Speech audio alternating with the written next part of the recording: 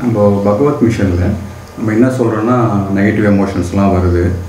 அதை விட்டுட்டா அப்படியே சரியாயிடும்ன்ற மாதிரி சொல்லிகிட்ருக்கோம் பட் ஆனால் ஆக்சுவலாக இப்போ நெகட்டிவ் எமோஷனை நம்ம கண்ட்ரோல் பண்ணும் போதே அது கண்ட்ரோல் ஆக மாட்டேங்குது. அவ்வளோ டேமேஜ் பண்ணுது.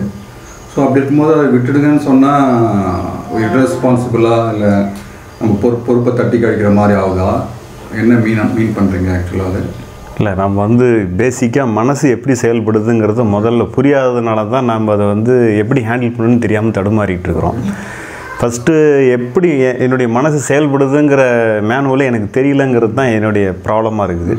முதல்ல அதை தெரிஞ்சுக்கிட்டேன்னா அதை எப்படி ஹேண்டில் பண்ணணுங்கிற அறிவு வந்துடுது ஸோ அப்போ என்னன்னு கேட்டிங்கனாக்கா அதை நான் எடுத்து செயலாக்கம் பண்ணி கடந்த என்னுடைய அத்தனையிலையும் நான் வந்து பிரச்சனையை தான் சந்திச்சுக்கிட்டு இருக்கிறேங்கிறது அனுபவமும் எனக்கு இருக்குது. ஸோ இப்போ நம்ம அதை மறுபடியும் அதே சேம் பழைய பேட்டர்ன்லேயே போனால் சேம் அதே ப்ராப்ளத்தை தான் நம்ம சந்திக்க போகிறோம் ஸோ அதனால் என்னென்னா அதில் பிரயோஜனம் இல்லை. ஏன்னா இது வந்து கண்டினியூஸாக இல்லைன்றதையும் நம்ம ஃபீல் பண்ணுறோம் எந்த எமோஷன்ஸுமே வந்து தொடர்ந்து நிற்கலங்கிறத ஏன்னா எந்த எமோஷனாவது நின்று நம்ம பல வருடமாக அப்படியே தொடர்ந்து ஒன்றே இருக்குதானே? இல்லை. அதிகபட்சமாக ஒரு பத்து நிமிஷத்துக்குள்ளேயே அது வேறு மாதிரி வேறு மாதிரி மாறி மாறி போயிடுதுங்கிறத நம்ம இந்த அண்டர்ஸ்டாண்டிங்க்கு அப்புறம் புரிஞ்சுக்கிறோம். ஸோ அதனால் எந்த உணர்வும் பெர்மனன்சிங்கிறது ஒன்று இல்லைன்றதை புரிஞ்சுக்கிறதுனால நம்ம அப்போ தான் வந்து அதுக்கு நம்ம என்ன சொல்கிறது அலோவ் கொடுக்கறது ஃப்ரீடம் கொடுக்கறதுங்கிறது அப்போ தான் நம்மளால் மனசோட செயல்பாட்டை புரிஞ்சிக்கிறதுனால மட்டும்தான் நம்மளால் அந்த இதை லிபரேஷன் கொடுக்கறது அக்செப்ட் பண்ணிக்கிறதுங்கிறது அப்போ தான் முடியுது. இப்போ நீங்கள் சொல்கிறது வந்து அது போயிடும்ன்றது என்னுடைய எக்ஸ்பீரியன்ஸாக இல்லை. அப்படி அப்படி இருக்கும்போது நான் இது வரைக்கும் பார்த்தது வந்து இல்லை இப்போ போயிரும்னே நம்ம சொல்லலை. அதில் நாம் ஒன்றும் பண்ண முடியாது அப்படிங்கிறது தான் இப்போ போ- இப்போ போயிடணும்னு சொன்னால் நம்ம கிட்டத்தட்ட மறைமுகமாக அதை ஏதோ ஒரு வகையில் இன்னொரு அதாவது வேண்டான்னு சொல்லிட்டு இன்னொரு பக்கம் கையில் பிடிச்சிக்கிட்டு இருக்கிற மாதிரியான விஷயம் தான் நம்மளால் இதை வந்து ஹேண்டில் பண்ண முடியாதுன்னு புரிஞ்சுக்கிறது தான் புரிதலை தவிர நம்ம இதை விடுறதுன்னு மறைமுகம் விட்டுட்டா அது சரியாக போயிருங்கிறதுக்காக நம்ம விடுறதுங்கிறதே கிடையாது. அதான் இப்போ முதல்ல வந்து நம்ம அந்த எந்த உணர்வுகளுக்குமே ஒன்றும் பண்ண முடியாதுங்கிறது தான் பிரதானம். அதை ஃபஸ்ட்டு அது கோருங்கிறது அதுதான். ரெண்டாவது செயல் செய்கிறதுங்கிறது கூட வந்து இம்பார்ட்டன்ஸே கிடையாது. இங்கே இந்த பார்ட்டில் ஒன்றும் பண்ணுறதுக்கு எந்த ஸ்கோப்பும் இல்லைங்கிறதுனால தான் நெக்ஸ்ட்டு ஸ்டெப்பாக தான் இதுக்கு ஏதாவது செய்யலாங்கிற ஆங்கிளுக்காக தான் செயலை தவிர செயல் கூட நம்ம முடிஞ்சே செய்யலாம் இல்லைன்னா யாரையா வச்சு கூட செஞ்சுக்கலாம். அது செகண்டரி பார்ட்டு தான். அதுக்கு இதுக்கு சம்மந்தம் கூட இல்லை கிட்டத்தட்ட சொல்லணும்னா. அது நம்ம வாழ்வியலுக்காக செஞ்சுக்கிற மாதிரி தான்.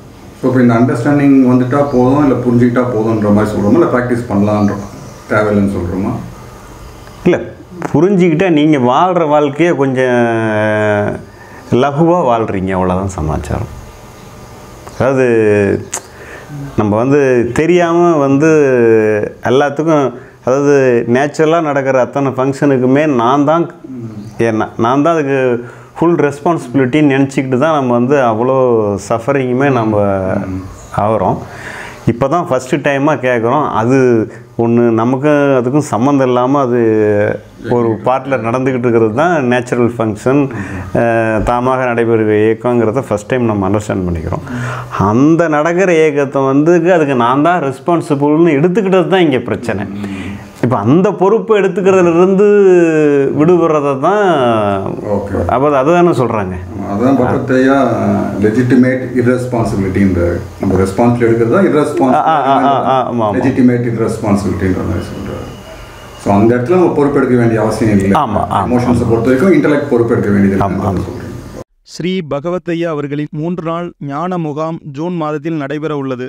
நாள் பதினஞ்சு ஆறு ரெண்டாயிரத்தி இருபத்தி நாலு சனிக்கிழமை காலை எட்டு மணி முதல் பதினேழு ஆறு ரெண்டாயிரத்தி இருபத்தி நாலு திங்கட்கிழமை மதியம் மூன்று மணி வரை நடைபெறுகிறது. இந்த வகுப்பில் அகம் புறம் என்றால் என்ன மனம் புத்தி என்றால் என்ன ஆன்மீகம் கர்மா தியானம் ஞானம் முக்தி என ஒரு மனிதன் மகிழ்ச்சியாக வாழ தேவையான அனைத்து விஷயங்களும் சொல்லித்தரப்படும். நீங்கள் தெரிந்து கொள்ளலாம். இந்த வகுப்பில் கலந்து கொள்ள முன்பதிவு அவசியம்.